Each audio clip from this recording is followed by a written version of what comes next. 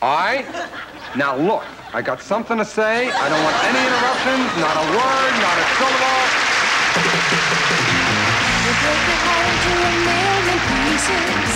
As he styles and combs and teases. He's a very versatile guy. He can set you straight or blow you dry. He'd never harm a hair upon your head. But don't be surprised if you wind up in his red book, David.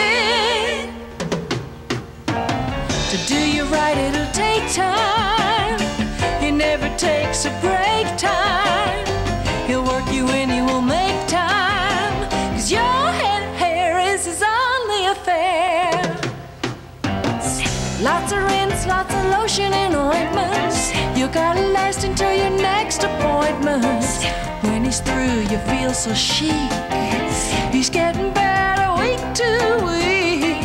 You never chair. David, you've got him in your hair.